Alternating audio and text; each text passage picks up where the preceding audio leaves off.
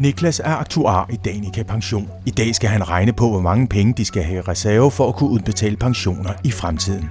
Hvis nu, at folk faktisk lever længere, end vi forventer, så skal vi gerne have kapitalen til at kunne tåle det, så kunderne altid kan få deres pensioner, og der ikke kan være nogen tvivl om det, ligegyldigt hvordan verden forandrer sig.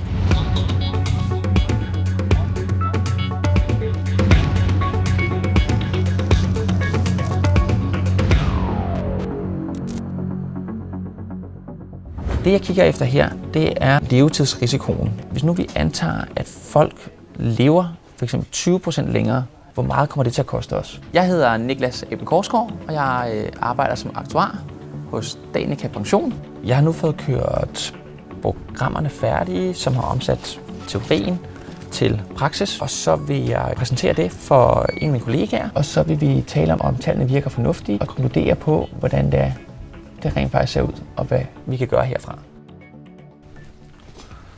Hej Mads. Hej. Jeg har fået regnet lidt på nogle af konsekvenserne, så kunne vi lige, lige snakke om det her? Det kunne vi da godt. At være aktuar, det synes jeg er det fedeste overhovedet. Jeg synes, det er sjovt at jonglere med tallene, at lave analyser, lave modeller, få lov til at omsætte matematisk og statistisk teori til praksis, og rent faktisk bruge det til noget, som skaber værdi.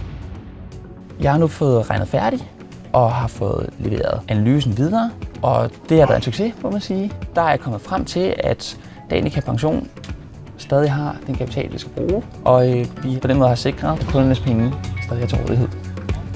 Vi har fået skabt værdi, og det er jo sådan noget, der gør, at man glæder sig til at vågne igen i morgen og skulle op på arbejde og skulle lave noget, som er rigtig, rigtig sjovt. Det er helt fantastisk.